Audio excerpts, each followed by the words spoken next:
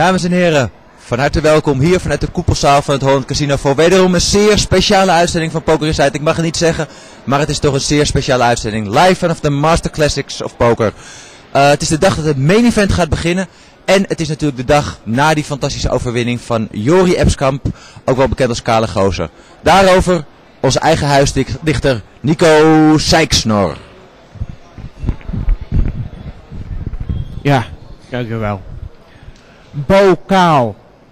De overwinning van Jori Epskamp gisteren in het 500-event was niet alleen een overwinning voor Jori Epskamp, ook niet alleen een overwinning voor Jori Epskamp en zijn backers. Nee, het was een overwinning voor kale gozers van over de hele wereld.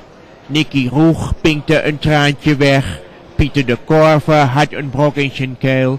En ja, ook ondergetekende zag weemoedig toe hoe er na jaren van duisternis eindelijk licht gloorde aan het eind van de haarloze tunnel dankzij de redder in nood Jori Epskamp. Want we hebben het zwaar gehad in de loop der jaren. Pim Fortuyn is vermoord, notabene door een kalende broeder. En in 95% van de James Bond films werd de rol van gewetenloze schurk ook al vertolkt door een lelijke kaalkop. Soms zelfs door een acteur die in werkelijkheid wel degelijk haar had, maar dat voor de gelegenheid afschoor, verstopte onder een badmuts of zelfs achteraf door de computer weg liet halen. Een klap in het gezicht van de kale lobby. En dan heb ik het nog niet eens over de allerzwartste bladzijde in de gehele kale geschiedenis gehad. De wekelijkse optredens van Ruben van der Meer in de shows van Jack Spijkerman. Hoe minder daarover gezegd, hoe beter. En dan hebben we tot overmaat van ramp ook nog eens geen haar. Maar Jean erover. Er gloort een nieuwe morgenstond en alles is anders vanaf vandaag. Amerika heeft een zwarte president. Maar zover zijn we hier nog niet. Maar een kale MCOP-winnaar. Yes, we can. Met hernieuwde kracht gaan we voorwaarts de kale toekomst tegemoet. Kale gozers alle landen, herenigt u.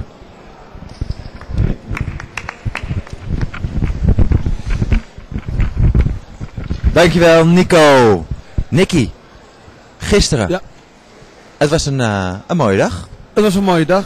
Uh, het zou, uh, leek op dat het een rustige dag ging worden, want we Ja. hadden die satellite. Tuurlijk. En alleen de finale van het 500 event. Ja, We begonnen met eh 13 spelers, omdat ze niet tot de finale tafel konden komen Ja. eh eergisteren. En ehm ja, mooie finale tafel. Eh, veel Nederlanders. buitenlander Ja. En eh, David Finney en voor de rest allemaal Nederlanders.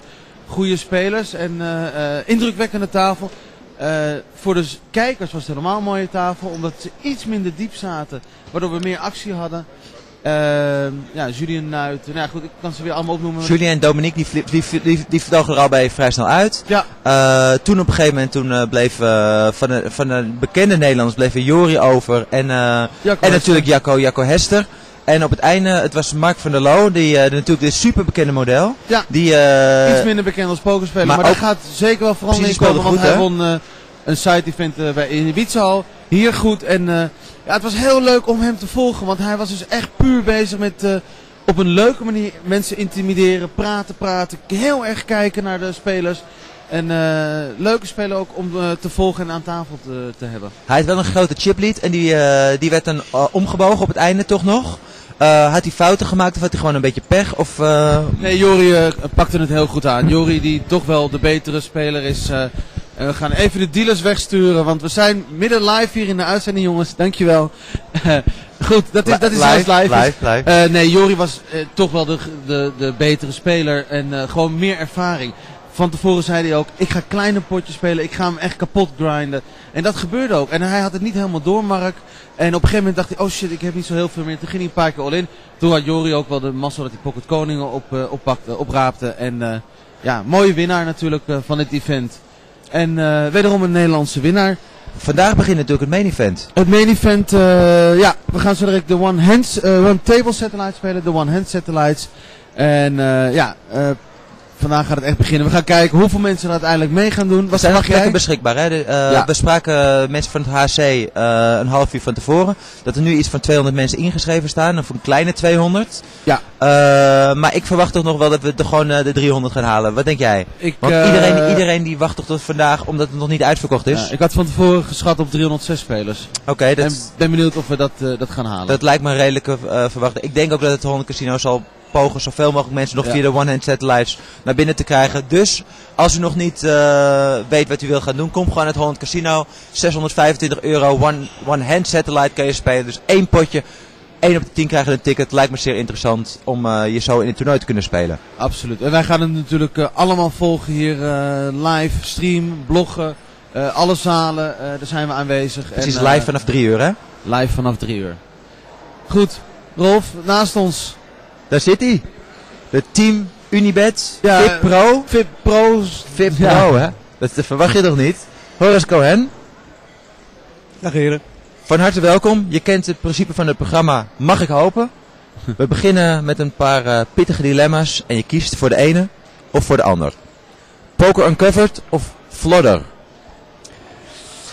Moet ik toch echt voor Flodder kiezen. Dat heeft me neergezet waar ik nu ben, zeg maar. Steffi de Paus of Zijbrand Maal? Steffi. Faya of Ancilla? Ancilla. Bracelet of Gouden Kalf? Bracelet. Wil je uitleggen waarom? Als je een gouden kalf wint, dan heb je nooit meer werk. En als je een bracelet wint, dan heb je tenminste een goed bedrag op de bank. Lekker snabbelen of toch alleen klussen die bij me passen?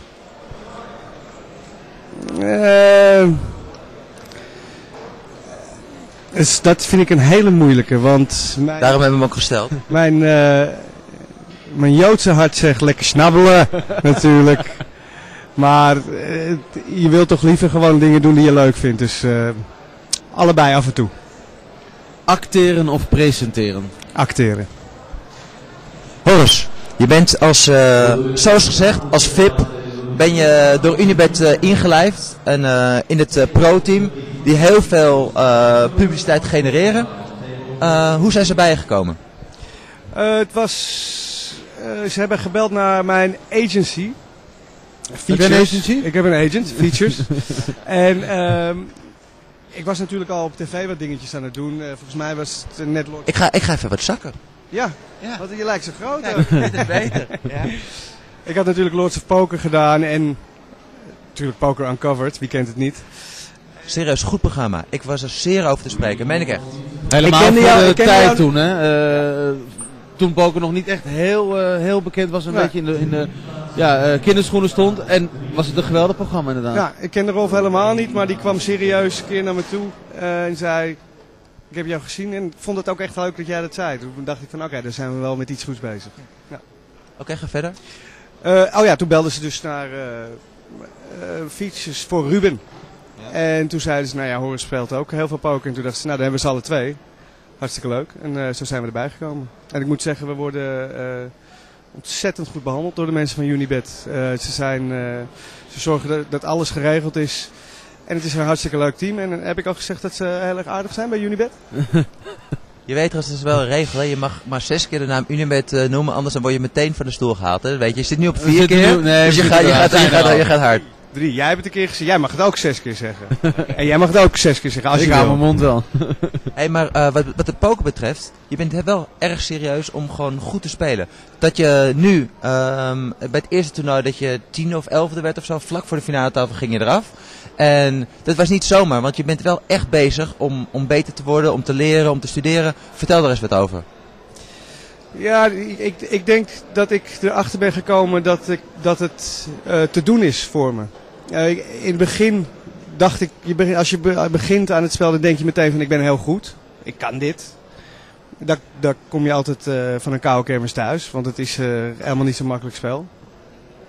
En, en toen heb ik even gehad van, nou misschien moet ik het laten, maar toen ben ik toch een beetje door gaan spelen. En met hulp van, van veel mensen, ook van, nou ja, met Lords of Poker, veel praten erover. ja, groeien gewoon. En ik merk nu dat ik het gewoon begint te begrijpen. En dan wordt alles veel leuker en veel makkelijker. Nou, je hebt eh, voor de MCOP, eh, vertelde je ook, heb je echt een soort, eh, nog een extra soort stoomcursus zeg maar gehad. Wat heb je daar dan van opgepikt wat je veranderd hebt in je spel? Wat, kan je daar iets van uitleggen? Ja, ik maakte toch altijd één cruciale fout tijdens een toernooi. En dat is? Nou, gewoon eh, dat, ik, dat ik opeens in een hand zat waar ik helemaal niet in moest zitten. En dat gebeurt niet meer.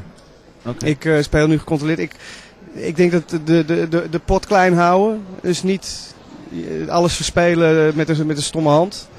Dat doe ik niet meer. eh, ja, het, je komt er natuurlijk ook achter dat je een beetje een image hebt als, als VIP-speler. Ja. Mensen denken van, hij kan het niet zo goed. Daar, moet je, daar maak ik nu ook heel veel gebruik van. Ik probeer toch eh, in het begin heel erg tijd te spelen, vooral bij zo'n toernooi. Dan gaan ze helemaal denken van, oh nou, hij, is, hij doet helemaal niks, omdat hij het niet kan. Nou, dan krijg je ook weer een paar handjes dat je toch een beetje kan spelen met de mensen.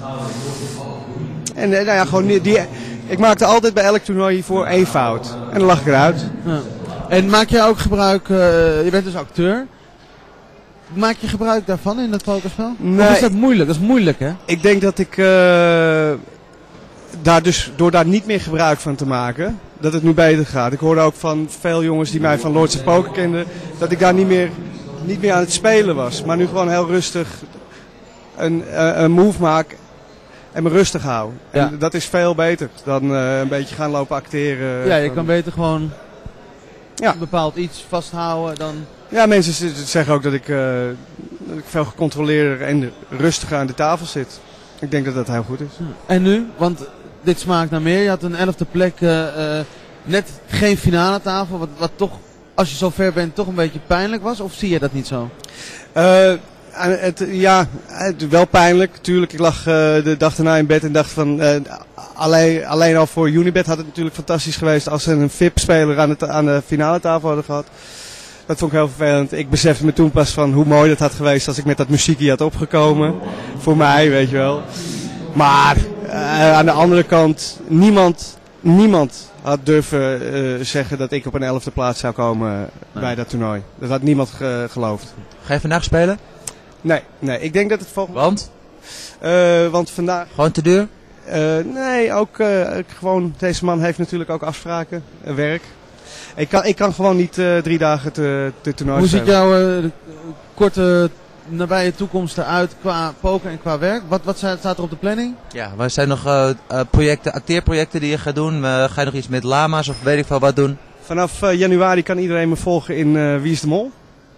Dus eh, dat is voor de is gokkers natuurlijk een heel leuk programma. ja. Eh, daar zou ik zeker naar kijken, want dat is, dat is een leuk sidebed-programma. Oké, waar, ga, waar ga je nu naartoe?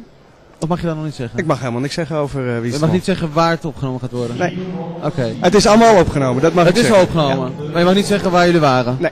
Oké, nou dan gaan we kijken vanaf januari. En, En, eh, eh, het pokergebied? En pokergebied zit ik in Londen, bij het Unibet Open in Londen, van Oké. 4 tot 7 december. Dat wordt heel gezellig. Ik denk dat dat het volgende keer is dat ik echt weer ga spelen.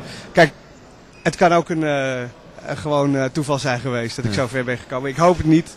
Maar eh, we gaan gewoon in eh, december weer kijken hoe Als er ver maar we geen pokertoernooi organiseert zoals bij dat eh, verborgen camera. Nee, dat ga ik, eh, zal ik nooit meer organiseren. Dankjewel. Hey jongens, hartstikke bedankt Horst dat je, dat je hier zat. Dames en heren, na enig technisch ongemak wat eenmaal hoort bij live, eh, live opnames, zijn we terug met onze tweede gast. Aan mijn rechterzijde Rob. Rob, je kent het principe van dit programma, want je bent al uitgebreid bij ons geweest. Wederom een paar eh, al dan niet pittige dilemma's. Poker of golf? Eén antwoord. Eh, golf. Poker reguleren of poker bij HC houden? Ik, ver- ik versta je niet. Begrijp ik. Poker reguleren of poker bij HC houden? Reguleren. Kansspelbelasting of inkomstenbelasting? Inkomstenbelasting. MCOP of WSOP? WSOP. Spelen op de full tilt nosebleeds of gewoon een lekkere dure cash game in het Holland Casino? Eh, lekkere dure cash game in het Holland Casino. Ajax, PSV of Twente kampioen? Twente kampioen. Rob, eh, op je blog heb je pas geschreven eh, een stukje over de Master Classics. Over eh, hoe het hier ging. En je was eh, misschien wel positief kritisch, maar toch wel redelijk kritisch. Geef eens aan wat, eh, wat je belangrijkste punten waren van wat je vindt wat beter kan. Of anders moet. Eh, nou, in de eerste plaats. Ja, ik ben inderdaad een beetje kritisch geweest. Maar ik denk dat ik eerst moet zeggen dat sowieso natuurlijk dit een fantastisch toernooi is. Hè? Goed georganiseerd. Spelers worden goed verzorgd. Hè? Dus in feite is het al 15 jaar lang, of ik weet niet hoe lang ik hier meedoe. Vroeger een beetje voor lol. Maar het is echt mijn favoriete toernooi. En, wat ik gewoon merkte de laatste jaren, dat het op een of andere manier aan teruglopen was. Eh, komt natuurlijk doordat het wat minder loopt in poker. Poker misschien over de top is. En eh, nou ja, daar begin er eens over na te denken van wat kun je er misschien toch aan doen om het zo groot mogelijk te houden. Bijvoorbeeld, ik refereer naar Cash Games vorig jaar. Was er eigenlijk heel weinig op PLO-gebied. Eh jaar daarvoor was het ook niet alles. Eh, ik ben verbaasd dat ik nou zelfs twee dagen gewoon eh, PLO 50-100 heb kunnen spelen. Dus wat dat betreft zie je in één keer een PLO-taal 50-100 en ik ken maar één iemand. Dus ik was erg verbaasd. En dus wat dat betreft valt het een beetje mee. Maar mijn idee was vooral dat je op zoek gaat naar nou, het creëren van een situatie om in de eerste plaats zoveel mogelijk mensen binnen te krijgen. Dus misschien moet je dan gerichte toernooitjes maken. Dus een paar hele kleine, hè? 200 baaien en 100 baaien, weet ik het. Gewoon twee van die hele kleintjes, waardoor een hele grote groep beginnende spelers komen. Want hè, hoe hou je iets in stand zonder dat je de beginners erbij haalt? Eh, nou, dan maak je maar twee middelgrote toernooitjes en dan doe je bijvoorbeeld twee eh, hele dure toernooien. Als je nou bijvoorbeeld eh, zo'n main event duurt vier dagen. Als je dan op de laatste zaterdag bijvoorbeeld een, een 5 of een 10.000 turbo doet. Hè? Ik denk dat dat veel grote spelers aantrekt. Hè? Dan hou je mensen in de, in de zaak. Dus je doet bijvoorbeeld eh, op de laatste dag doe je weer een, eh, een 200 eh, turbo en een eh 5000 turbo of zo. Dus ik, ik vind meer dat je gericht op zoek moet gaan dat je iedereen erbij betrekt. Het probleem- En de toernooien ook ietsjes, driedaagse toernooien trekt me niet zo. Want ik heb het idee van ja, mensen zitten gewoon te lang in het toernooi. Dus eh, main event drie dagen of vier en de rest absoluut niet, eh, geen drie dagen. Het idee van Holland Casino is, want we hebben daar natuurlijk ook wel over gesproken, het aanbieden van die kleinere toernooitjes. Ze zeggen de MCOP, dat is gewoon het toernooi in het jaar. De kleinere toernooitjes houden al het hele, hele jaar en daar kunnen de mensen die net beginnen met poker, kunnen daar terecht. En MCOP is gewoon iets speciaals en dan willen we ook iets speciaals aanbieden. Maar daar ben je het dus niet helemaal mee eens. Nou ja, oké, dat dat is ook logisch. eh, of het is niet vreemd als je het op zo'n manier bekijkt. Ik, ik zeg niet dat ik het er niet mee oneens ben. Het is een bepaalde visie. Maar ik heb altijd een beetje zoiets van. eh, nou, het is lekker als je de tent zo vol mogelijk hebt. Dus probeer iedereen erheen te halen die erheen kunt halen. Dus nou, ja, ik, ik vind ook gewoon eh, twee, drie hele kleine toernooitjes. En, en qua startstack voor het main event. Je, moet- je moet niet vergeten dat er heel veel eh, kleinere spelers in Amsterdam gewoon in de loop der jaren ontevreden zijn over dat het steeds maar grover is geworden. Hè. En ik bedoel, ik ken heel veel jongens die zeiden van ja, vroeger konden we vier toernooitjes spelen en nou ja, eh, goedkoopst is eh, hè, zoveel. En, nou. Maar het, is maar net hoe je het bekijkt. Het, de startstack van, van het main event. Vind je dat dat oké is? Of zeg je van... eh, Dan dat moet je maar even zeggen hoeveel het is. Want 15.000. 15.000. Het is van 12 man Oké. naar 15.000 gegaan. Dus dezelfde buy-in, iets omhoog. Maar wat je tegenwoordig in Europa ziet, is dat men veel meer chips aanbiedt. Ja, maar wat zijn de blinden dan? Ja, de blinden zijn laag, 25,50. En je hebt structuur van een uur neem ik aan? Anderhalf uur. Anderhalf. En, en tweede level is 75 of 100? Sorry, ik hoor je niet. Tweede level 50, 75 of 50, 100? 50, Oké. En dan eh 75, 150. Ja, is natuurlijk een super structuur. Ik zou haar zeggen te mooi. Ik bedoel, eh, EPT is dus eerste dag eh 9 uurtjes spelen. Dus elk uur gaat het level omhoog. Op dag 2 75 minuten. Dus eh, ja, je begint met 300 big blinds. Ik denk niet dat... dat doe je op de EPT ook. Hè. Begin ze 50, 100. Dus je begint met 300 big blinds. Doe je op de EPT ook. En je gaat hier langzamer omhoog. Dus deze structuur is beter, Beter. dan van de EPT. Ja, maar dus zo kijk jij ernaar. hoe, kun je zo- zeggen dat het niet slecht is? eh? Nee, maar zo, zo kijk jij ernaar en zo kijken nog wel meer eh, mensen naar. Maar het, het grote gedeelte kijkt zoiets van meer van... ik eh, begin met 30.000 punten of ik begin met 15.000 punten. Ja, maar de, de essentie is toch hoeveel big blinds je hebt. Ja, Correct. Hey eh, Rob, jij bent hier een echte speler van het, van het eerste uur van de Master Classics. Je hebt heel veel Master Classics meegemaakt. Eh, ik ben natuurlijk veel eh, toernooien hier geweest als reporter. Wat zie jij hier, eh, wat zie jij als je grote hoogtepunt tot nu toe? Wat vind jij persoonlijke hoogtepunt hier op de Master Classics tot nu toe? Ja, ik denk toen ik voor het eerste toernooi won. Als je hè, net serieus begint met pokeren. Ja, dan is een, een eerste toernooioverwinning en dan ook nog tegen Devilfish. Hè, een bekende pokeraar. Iemand waar ik heel goed mee overweg kan. Waar ik goed, goed bevriend mee ben. Ja, dan is dat wel... eh, hè, zoiets maakt toch veel meer indruk dan eh, dat je bijvoorbeeld een paar jaar later toevallig nog een Limit Hold'em toernooitje wint. Dus ik moet zeggen dat in 2001 die eh, PLO, dacht ik, tegen Devilfish, ja, was voor mij wel het hoogtepunt. Klopt, zat ik ook bij, was ik, was ik reporter, was een prachtig, eh, was inderdaad ook een prachtige heads-up. Maar een ander mooi moment vond ik, was dat, eh, en dat, noem je waarschijnlijk dat Limit Hold'em toernooitje. Maar volgens mij was dat, eh, dat ene toernooi wat je won. En dat je tegelijkertijd een andere erbij speelde. Dat je, als, dat je aan het rennen was tussen twee tafels, toch? Klopt? Ja, ik herinner me nog goed. In het PLO-toernooi zag het er redelijk goed uit. Ik moest finale tafel en op een of andere reden kwam ik op het idee dat ik ook die Limit Hold'em moest spelen. En het, het ging inderdaad wel heel grappig. En die PLO zag er aardig goed uit. Eh, in die Limit Hold'em op een gegeven moment had ik nog iets van... eh, nou, ik kon eigenlijk nog één hand spelen. Dus ik dacht van ik speel nog één hand. En daarna loop ik naar die, eh, ga ik terug naar die PLO en dan is het wel klaar met die Limit Hold'em. We zaten in die PLO nog met zes man. En toen liep ik terug naar dat limit toernooitje en had ik me voorgenomen.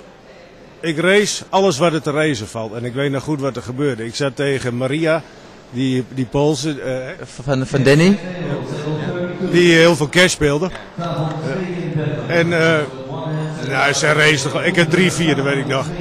En ze race en ik re-raced. En zowel op de flop, turn als river betten ze me door. En ik- op de river, ik race me door. En op een gegeven moment heeft ze op de river, na mijn laatste race, heeft ze weggegooid. En ik had dus helemaal niks. Maar ik had zoiets van, ja, dat geld, hè, die fiches, het, eh, het is klaar. Ik kan niet heen en weer blijven lopen. En toen ik een hele dikke pot. Ja, en uiteindelijk... eh, had ik een beetje pech in die oma. Ik weet nog goed dat op de turn toen, toen check race Simon Trump me all-in met eh, een gutshot aan de onderkant of zo. En een, een lage flush of zo. En ik had geloof ik... ik had al een straat en de top set of zo. En, maar ja, het liep slecht af. En toen werd ik vijfde in die oma. Ging terug naar die Limit Hold'em. En eh, ja, die, eh, En die pakte je. ja, die ging goed. nou, dat, dat was toen de MCOP. Vandaag MCOP ga je het main event spelen. Ja. Je bent ook weer een beetje wat meer in het buitenland aan het spelen. Eh, Pas geleden een EPT high roller gespeeld. Daar werd je tweede, meen ik aan. Daar deden 17 mensen aan mee. Eh 13 deden mee. Sorry? 13. 13 mensen deden mee. Waarom speel je dat toernooi dan als ik vragen mag? Eh, nou, ik had eigenlijk in, eh, in Londen had ik ook al wat van die dingen willen spelen, maar dat liep allemaal heel slecht. En ik had niet veel geld bij me, kon niet meer pinnen, dus ik kon daar niet spelen. En toen eh, dacht ik van, nou ja, als het in Oostenrijk wat beter eruit ziet, dan speel ik hem in Oostenrijk wel. En, eh, nou, oké, ik had me ingeschreven, bleek maar 13 man te zijn. Een beetje jammer, maar het punt is, het zijn niet allemaal goede spelers. Er zitten van die, als ik mezelf niet meetel, die twaalf mensen zitten er acht echt toppers. Hè? Jonge gasten die echt goed zijn. Eh, Tobias Renkenmeijer, die José Barbero, eh, nog eh, van dat soort kaliber. Maar er zaten er ook vier tussen. Eén man waar ik uiteindelijk van Floor, die staat bovenaan de EPT-ranking en die wil graag puntjes halen. Nou ja, die speelde behoorlijk slecht. En er zaten nog twee die waren ook goed slecht. Dus als je een veld hebt met 13 man, waarvan de vier echt slecht zijn. Hè, zou je denken, maar ja, ja, het is raar, maar je wint het wel.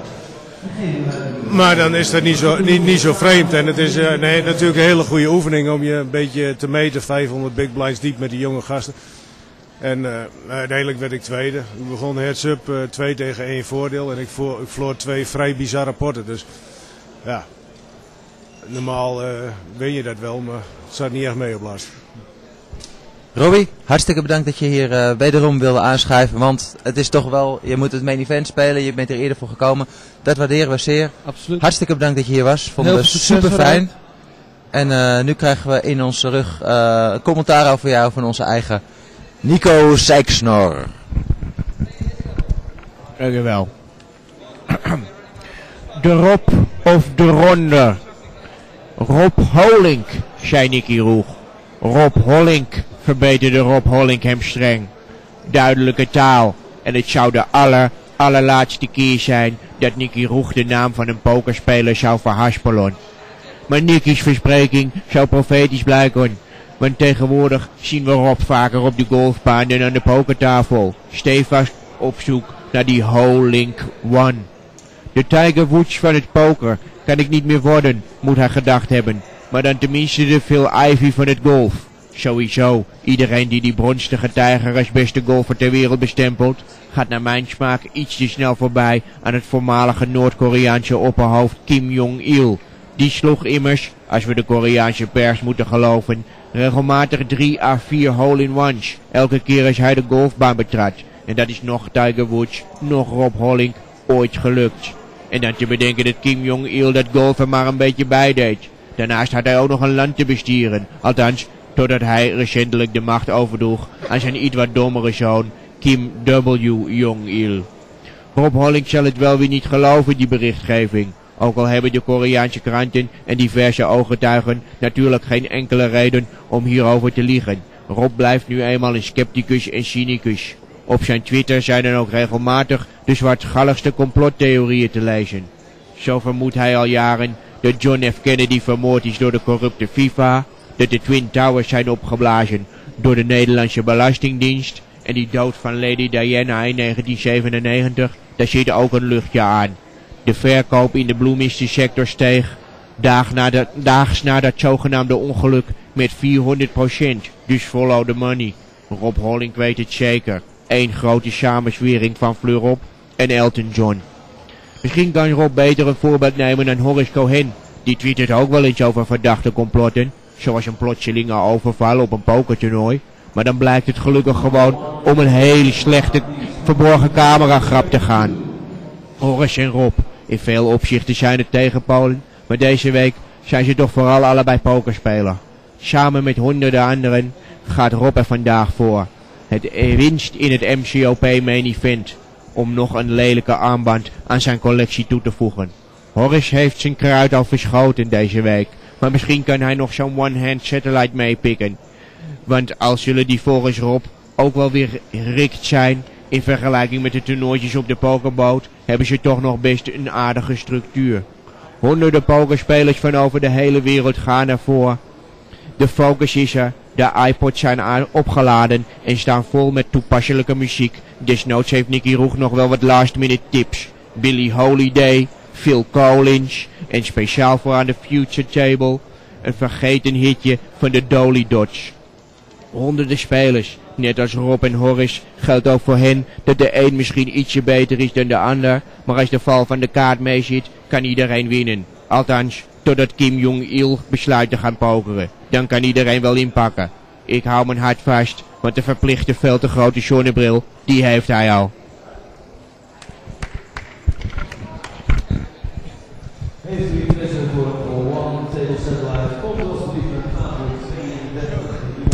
Dankjewel Nico. Ehm, en met Nico en eh, Nico Zijksnor en eh, Rob in de achtergrond gaan wij ook langzaam afscheid nemen. want het zit er een beetje op. Dat doen we natuurlijk met onze dagelijkse top, 5.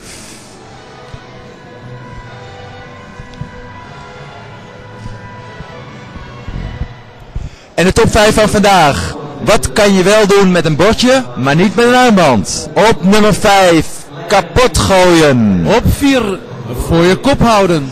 Op nummer 3, ervan eten. Op 2, frisbeeën. En op nummer 1, aan de muur hangen en er de hele dag naar kijken. En dat is wat ik zou doen. Jongens, bedankt voor het kijken. Tot morgen. Doei.